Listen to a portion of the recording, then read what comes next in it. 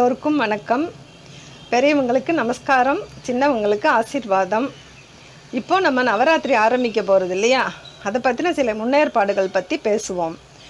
என்னென்னாக்கா first நம்ம வந்து வீடு எல்லாம் க்ளீன் பண்ணி வச்சுக்கணும். நவராத்திரி நடக்கும் பொழுது வீட்டில் க்ளீன் பண்ணுறது அதெல்லாம் வச்சுக்கக்கூடாது ஏன்னாக்கா தேவி வந்து ஊசி முனையில் தவம் இருப்பாளாம். அந்த நேரத்தில் வந்து அவளுக்கு அவள் டிஸ்டர்பாக இருக்கக்கூடாதுன்னு சொல்லிட்டு அந்த காலத்து பெரியவங்கெல்லாம் என்ன சொல்லியிருக்காங்கனாக்கா நவராத்திரி ஆரம்பிக்க முன்னாடியே ஒட்டடையெல்லாம் அடிச்சிட்டு வெண்ணெய் காய்ச்சிருந்தவங்க வெண்ணெய் காய்ச்சணும்.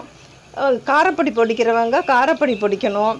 அந்த மாதிரி விஷயங்கள்லாம் நம்ம செஞ்சு வச்சுக்கணும். அந்த நவராத்திரி வந்து ஆரம்பிச்சிருதுனாக்கா அந்த மாதிரி விஷயங்கள்லாம் செய்யாமல் இருக்கிறது ரொம்ப நல்லது. ஏன்னா தேவி தியானத்தில் இருக்கிறவ ஒத்த ஒரு ஒரு காலில் வந்து ஊசி மணல் தவம் இருப்பா. அவளோட தவத்தை நம்ம கலைக்காமல் இருக்கணும்னாக்கா இந்த விஷயங்கள்லாம் முன்னாடியே நம்ம செஞ்சு வச்சுக்கிறது நல்லது. இன்னொரு விஷயம் என்னென்னா நவராத்திரி ஆரம்பிச்சாவிட்டு நமக்கும் வேறு வேலைகள்லாம் இருக்கும் இல்லையா? அதனால் இந்த மாதிரி க்ளீனிங் வேலைகளுக்கெலாம் அந்த நேரத்தில் ஒதுக்காதீங்க. முன்னாடியே அந்த வேலைகள்லாம் செஞ்சு வச்சுக்கோங்க. உங்களுக்கு அது உப மிக உபயோகமாக இருக்கும் அந்த மாதிரி விஷயங்கள்லாம். நவராத்திரி ஆரம்பிச்சதுனாக்கா நம்ம வீட்டுக்கு வரவங்களுக்குலாம் நம்ம தாம்பூலம் கொடுக்கணும். அதுக்கு வந்து நம்ம வந்து எல்லா விஷயமே நம்ம ரெடி பண்ணி வச்சுக்கணும். வெத்தலைப்பாக்கு பழம் பூவு என்ன நம்மளால் கிஃப்ட் முடிகிறதோ அது வந்து நம்ம ரெடி பண்ணி ஒரு கவரில் வச்சுட்டோம்னா நமக்கு அந்த டென்ஷன் இருக்கவே இருக்காது. என்ன நைவேத்தியம் பண்ணுறோமோ இன்னும் சுண்டலோ கலவை சாதமோ என்ன நைவேத்தியம் பண்ண போகிறோன்றத முன்னாடியே ஒரு லிஸ்ட்டு எழுதி வச்சுக்கோங்க. வச்சுட்டு அதுக்கேற்ற மாதிரி நீங்கள் பண்ணும்பொழுது உங்களுக்கு அந்த டென்ஷன் இருக்காது. ரிலாக்ஸாக ரொம்ப அழகாக நீங்கள் வந்து நவராத்திரியை கொண்டாடலாம் நம்ம. நம்ம எப்பொழுதுமே நல்லா பெருசாக பண்ணுறோம் சின்னதாக பண்ணுறோன்றதெல்லாம் நம்ம பார்க்க வேண்டாம். நம்மளுக்கு யாரெல்லாம் கூப்பிடணும்னு நினைக்கிறோமோ அவங்கள வந்து நம்ம கூப்பிடணும்னு நினைக்கிறவங்கள நம்ம லிஸ்ட் போட்டு நம்ம முன்னாடியே வச்சுட்டுறலாம் அப்புறம் நம்ம வந்து அதை மிஸ் பண்ணிட்டோமே அப்படின்னு நினைக்க வேண்டிய தேவை கிடையாது. நவராத்திரி ஆரம்பிக்கிறதுக்கு முன்னாடியே அவங்கள்ட்ட சொல்லிடுங்க. இதுலேருந்து இத்தனை நாளுக்குள்ள நவராத்திரி நடக்கிறது. உங்களுக்கு எந்த நேரத்தில் வந்து வா வாங்கிக்க முடியுமோ வெத்தலைப்பாக்கு வந்து வாங்கிக்கோங்கன்னு சொன்னால் அவங்களும் ரிலாக்ஸாக வந்து அதை வாங்கிப்பாங்க. நம்மளுக்கும் யாரையும் விட்டா மாதிரி இருக்காது. எல்லாருக்கும் அதை கொடுத்தா மாதிரி ஒரு சந்தோஷம் நம்மளுக்கும் கிடைக்குங்க. இதையும் நீங்கள் ட்ரை பண்ணி பாருங்கள் வரவ வரவங்களுக்கு நம்ம வந்து நலுங்கு வைக்கிறது ரொம்ப விசேஷம். உங்களால் முடிஞ்சதுனாக்கா கொஞ்சம் ஆரம்பிக்க நவராத்திரி ஆரம்பிக்கும் போதே கொஞ்சம் மஞ்சளும் சுண்ணாம்பும் கலந்து ஒரு டப்பாவில் போட்டு வச்சுக்கோங்க நீங்கள் அதை எடுத்து கொஞ்சமாக எடுத்து வரவங்களுக்கு ஒரு சுமங்கலிக்கும் சின்ன குழந்தைகளுக்கும் நலுங்கு வச்சா ரொம்ப நல்லது. ஆனால் சாமிக்கு பண்ணும் பொழுது மஞ்சளும் குங்குமமும் கலந்து ஆரத்தி எடுக்கணுங்க. அதையும் எதையும் மாற்றி பண்ணிடாதீங்க.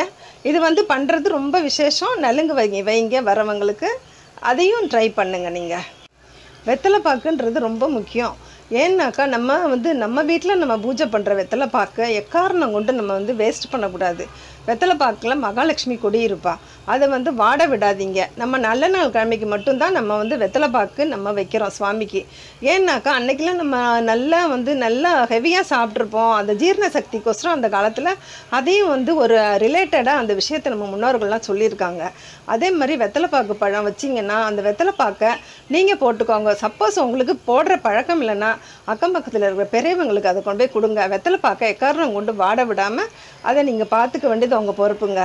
வரவங்களுக்கு சுண்டல் கொடுக்கறது இல்லை நைவேத்தியம் தான் கொடுக்கணும்னா முன்னாலேயே இந்த பாயில் கவர்லாம் நிறைய விற்கிறது. அது பாக்ஸோ பாயில் கவரோ நீங்கள் வாங்கி ரெடி பண்ணி வச்சுக்கோங்க.